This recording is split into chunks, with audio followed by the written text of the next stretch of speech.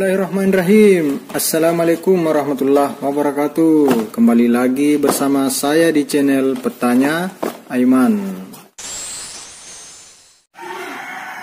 Video kali ini akan memberikan sedikit tutorial tentang Cara memanfaatkan kembali bahan bekas kotak susu atau box susu sebagai media yang dapat digunakan untuk menanam dan menyemai berbagai macam jenis sayuran untuk skala rumahan.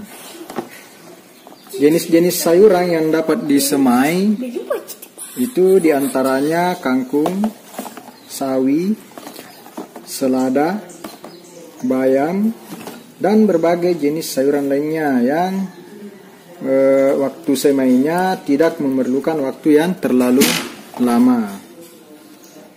Nah, yuk kita ikuti langkah-langkah berikut ini.